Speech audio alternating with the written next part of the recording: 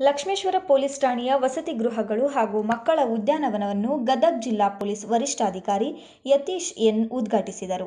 ಶಿರಹಟ್ಟಿ ವೃತ್ತದ ಸಿಪಿಐ ವಿಕಾಸ್ ಲಮಾಣಿ ಹಾಗೂ Lakshmeshwar PSI Prakash D ಅವರ ನೇತೃತ್ವದಲ್ಲಿ ನಿರ್ಮಿಸಿದ ಉದ್ಯಾನವನವು ಎಲ್ಲರ ಗಮನ ಸೆಳೆಯುವಂತಾಗಿದೆ.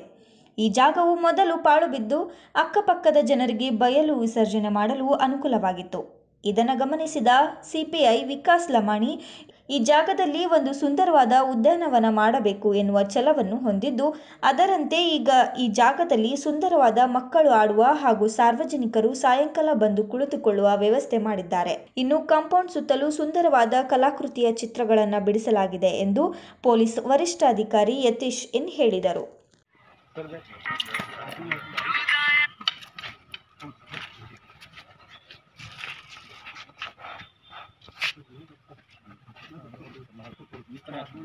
ಇನ್ನೊಬ್ಬ ಬಿಟ್ಟು ತೋರಿಸಿ.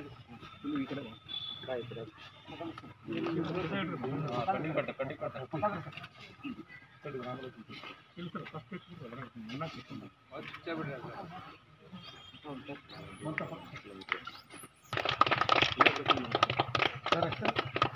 ಅಧಿಕಾರಿಗಳು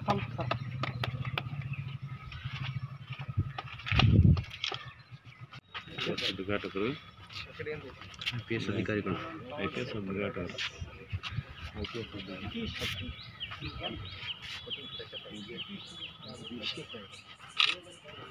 ఎస్ సార్ రే ముంజా కంఫర్ట్ హోనా కంపల్సరీ